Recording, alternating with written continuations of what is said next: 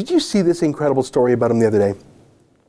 Kent Hehr, because he's also the Minister of People with Disabilities, who was meeting with people who suffered from thalidomide. Remember what that was? It was a drug that pregnant moms took, and it had terrible effects on their babies. They were born without limbs or with tiny limbs. It's a tragedy in so many ways. How can you feel anything but sympathy and sorrow and love for such people?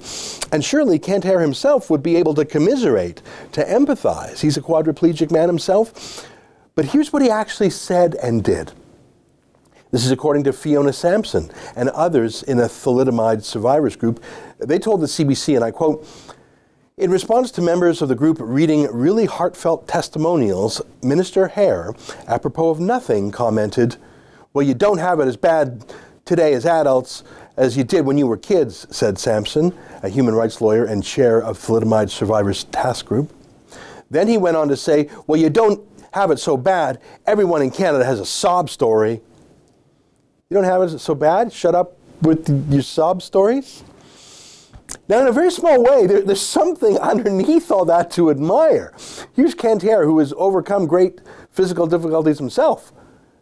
And he's telling others to emphasize the positive and do their best and move on. Courage, encouragement, hope.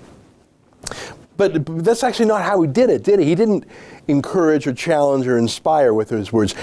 He could have done that. He, he should have done that. But instead, he browbeat and insulted and demeaned. Oh, shut up, you whiners.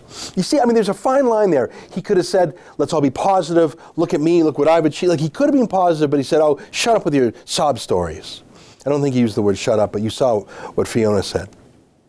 But, but they're, they're not sob stories. They're, they're thalidomide victims. It's about the worst thing to happen to someone. That's an excerpt from my daily TV show, The Ezra Levant Show. Normally it's behind a paywall, but I thought you'd like this video, so we put it on YouTube.